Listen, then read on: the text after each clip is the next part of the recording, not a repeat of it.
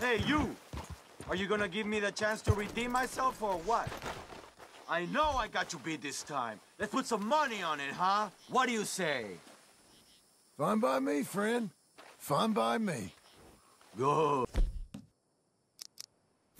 Okay, let's do this. You know how this goes. The one who shoots the most bottles wins. Just draw your gun and aim when you...